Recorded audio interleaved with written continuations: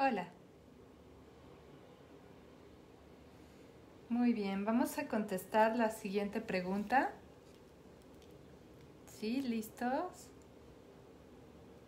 ¿Listos? ¿Listos todos? Muy bien, ok. Bueno, vamos a contestar la siguiente pregunta. La siguiente pregunta dice, Hola Sifu, Dios la bendiga. ¿Tiene usted conocimiento de filosofía, sabiduría y oriental? ¿Sabrá usted la diferencia entre suprimir y controlar nuestros sentimientos y emociones? ¿Qué tan bueno o perjudicial es eso para el ser humano? Se lo pregunto porque estoy al borde con un tema de la enfermedad de mi papá y con su mamá. Dice las personas mayores de 70 años. Ah, y bueno, dice que quiere saber cómo es eso de suprimir y controlar sentimientos. Es un tema bastante lindo e interesante. Eh, y, vamos a ver qué pasa aquí con esto de suprimir y, y controlar. Es muy importante saber acerca de, de esta situación de nuestras emociones. De hecho, ah, los psicólogos actuales están muy enfocados en las filosofías orientales debido a eso, a que em, en, en, Oriente hay mucha cuestión de este manejo emocional, pero curiosamente eh, Oriente y Occidente se complementan. ¿Por qué? Porque Oriente habla acerca de cómo controlas tu mente y de hecho, por ejemplo, eh, con las cuestiones budistas no hay una diferencia entre emociones y mente. Para ellos emociones y mente es lo mismo. Para los taoístas, como ellos son como muy libres, ¿no? Bueno, y esto cuando es budismo que no es tántrico, cuando es tántrico es más libre. Pero para los taoístas tántricos también, eh, es como más libre esta situación. En cuanto a lo que sientes, es parte de la naturaleza y está bien sentir lo que sientas. Y así, para cada sistema oriental siempre hay referencias eh, dependiendo pues de cómo, de qué filosofía estemos hablando. Para los hinduistas también ellos lo llevan mucho al estilo freudiano, ¿no? Pero bueno, hablemos de... Hay un libro que me encanta y um, en este libro hablan acerca de una investigación que se hizo de unos monjes budistas que ellos suprimen sus emociones, no las controlan o, ajá, Aquí hay una gran diferencia. Fíjense, se los voy a leer. Dice, el doctor Bruce Lipton, biólogo del desarrollo y autor de la biología de la creencia, señala que solo alrededor del 10% de lo que pasa en tu organismo y tu salud está relacionado de algún modo con tus genes y tus antecedentes familiares. Eso significa que el 90% de lo que te sucede, incluso el modo en que se expresan tus genes, está determinado por tu entorno. Y entonces dice, en esto consiste la ciencia epigenética. Y la parte más importante de ese entorno está formado por tus creencias, de cuya mayoría no eres consciente. Esto quiere decir que está en tu subconsciente. Ahora, el doctor Mario Martínez, fundador de Biocognitive Science Institute y autor de Mind Body Code, señala que muchos monjes tibetanos tienen diabetes que no pueden explicarse, ya que ellos son súper saludables y hacen ejercicio y, e incluso algunos están obesos. Y dice, ¿por qué? ¿Por qué sucede eso? No es posible. Entonces, habla como muchas cosas, pero les voy a leer como lo principal.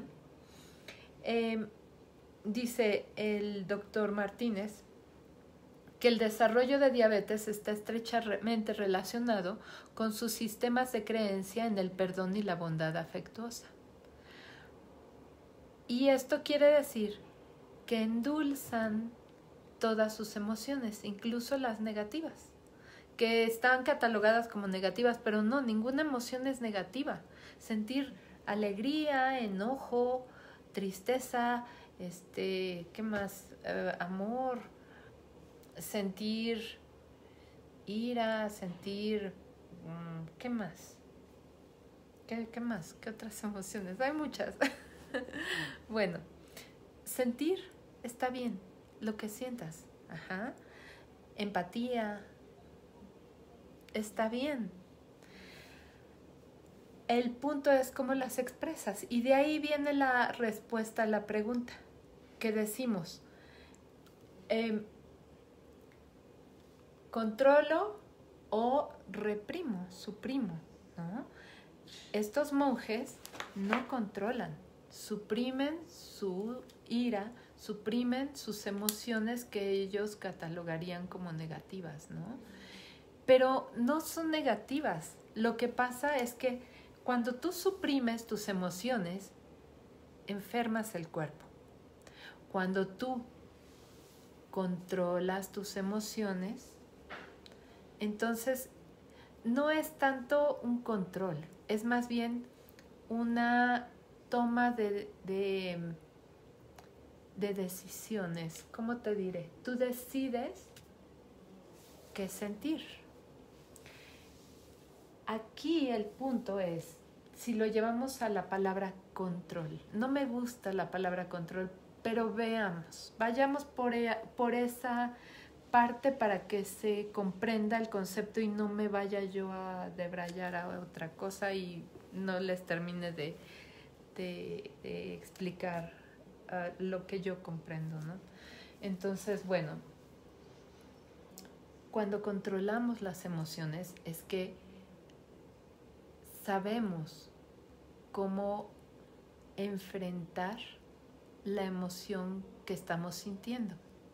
Por ejemplo, un enojo, una que se lleva a ira incluso, o tristeza, o qué otra cosa.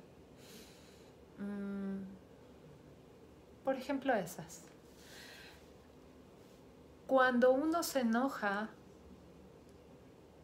por algo, lo que tiene que hacer es, primero, calmarse, relajarse. Uno no puede contestar en esas situaciones, ni triste, ni enojado, ni muy alegre. O sea, en ninguna emoción fuerte uno puede contestar nada, ni decidir nada. En una emoción fuerte lo primero que tienes que hacer es bajarle o subirle el nivel para que esté en equilibrio. Ya en equilibrio puedes contestar, hacer, decir, decidir, no en la emoción fuerte. Y ahí está la clave.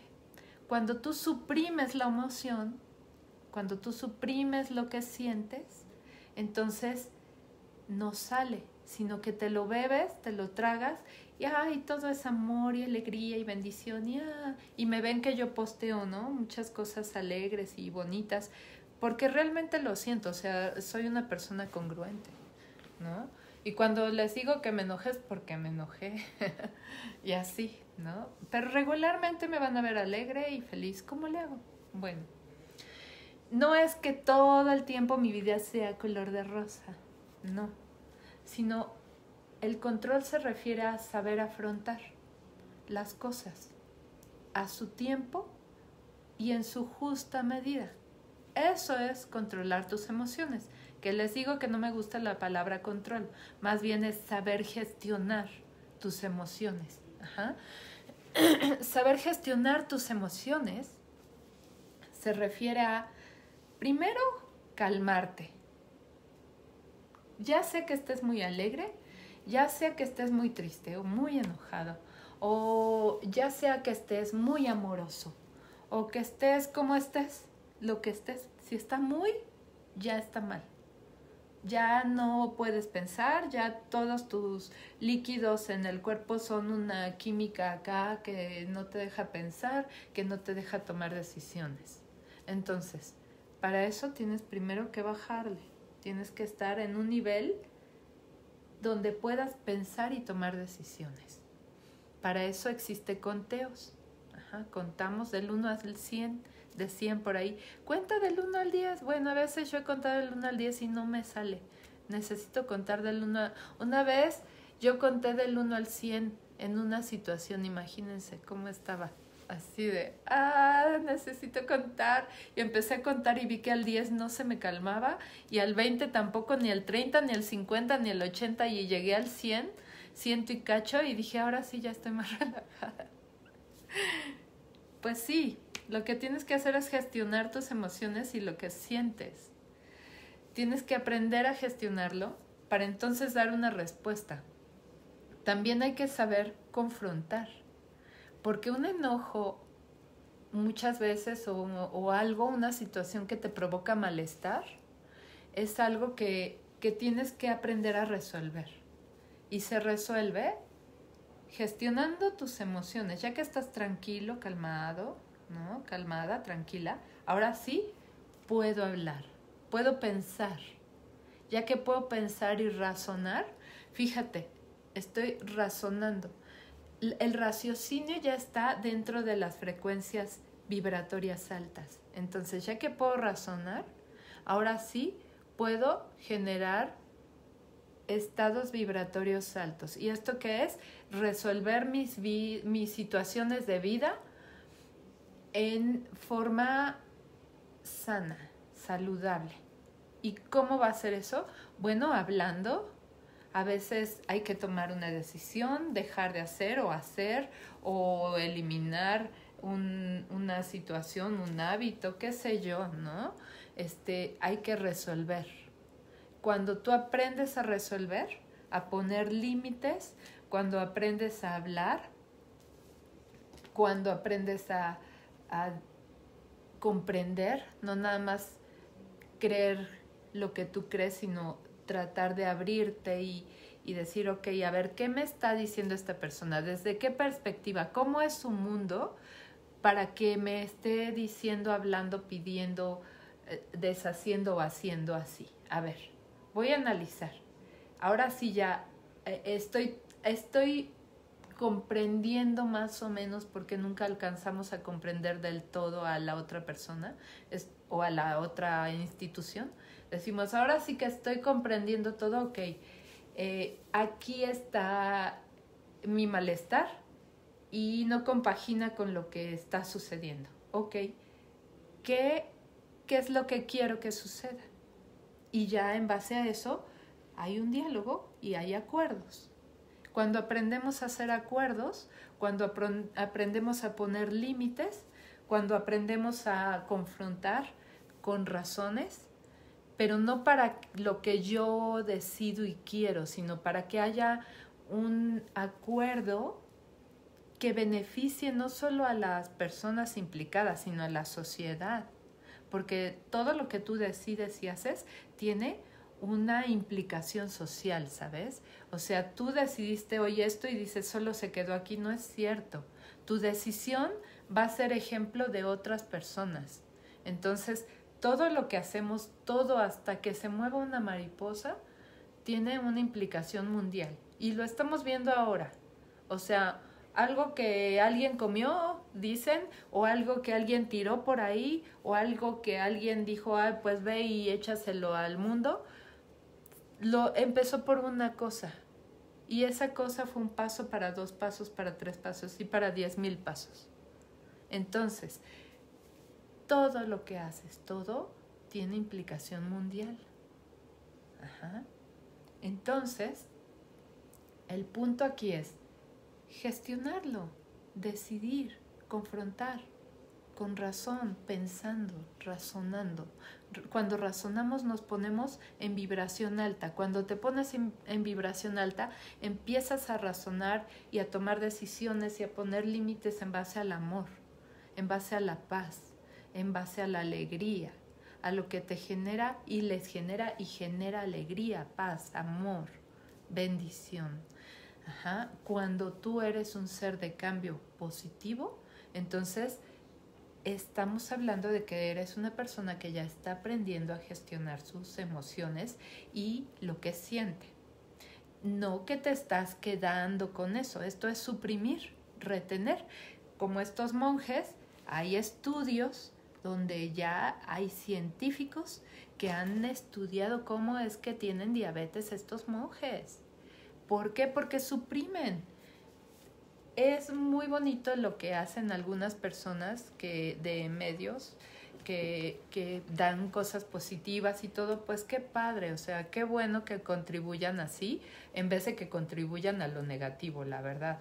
Eh, obviamente a veces sus comentarios pues a lo mejor no son los más adecuados, pero sí su visión. Y yo creo que no es satanizar el positivismo, eh, más bien es como súbete la patineta de lo bueno que encuentras en la vida y en vez de estar viendo lo negativo, ¿no? Y pues, ok, a lo mejor en este momento yo estoy muy triste porque a mí me ha pasado que digo, ay, ¿cómo me dices que me ría si no puedo ni reírme? O sea, ¿cómo quiere, me dices que salga adelante si ni elementos tengo? O sea, de verdad, a veces uno se siente con frustraciones, se siente con, con tristeza o con enojo, con cosas que, que en ese momento no puedes gestionar.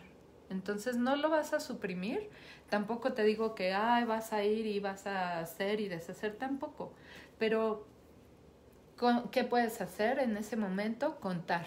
Primero contar del 1 al 1000 si es posible, si, eh, si no te da resultado al 100, al 1000 para que te relajes. Y luego lo escribes todo en una carta, lo rompes y lo tiras al, al excusado con sal o al bote con leche sal y lo bendices y dices ya perdonado y bye. Y, o bien, este, también en mi caso a veces pongo mi costal de box y pum, me pongo a pegarle y patadas y todo y cuando no ni puedo, entonces hasta mordidas, ¿no? y, y, o sea, pero mordidas, por ejemplo, una manzana, qué sé yo, te puedes romper el diente, cuidado, cuando estás enojado, mejor no.